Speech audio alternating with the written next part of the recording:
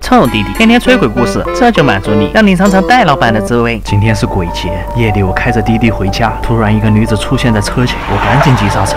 女子上车后用沙哑而凄惨的声音说：“请到殡仪馆。”我吓得冷颤了起来，但是只能硬着头皮开过去。到了殡仪馆，我不敢回头看，她开门后我迟迟没有听见关门的声音。我回头看后座竟然没有人，车的四周也没有人，难道真的是鬼？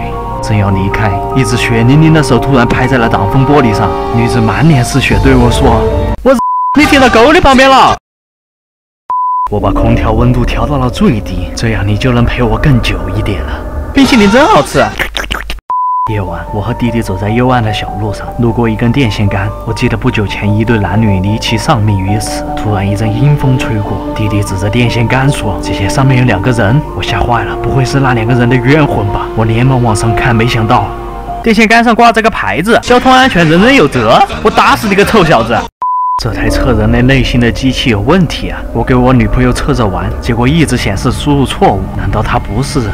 拜托，你女朋友是个抱枕，怎么测得出来呀？哟，艾米莉亚，链接发我一下，我给你三连。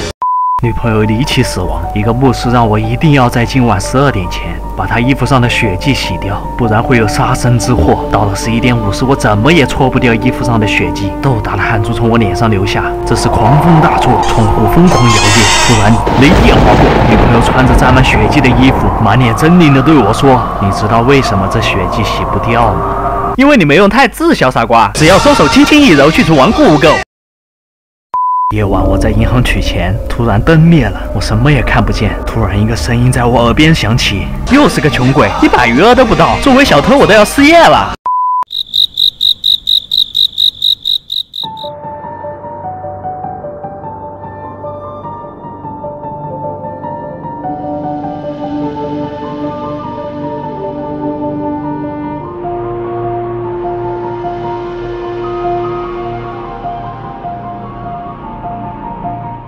到我的回合了，音乐老师，music。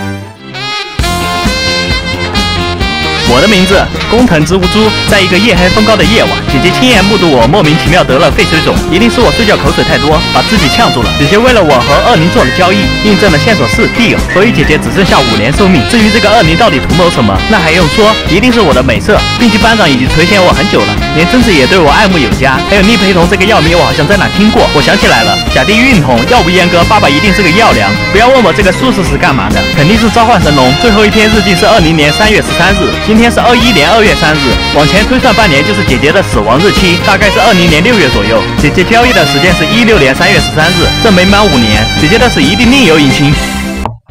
把我马上就睡，臭弟弟。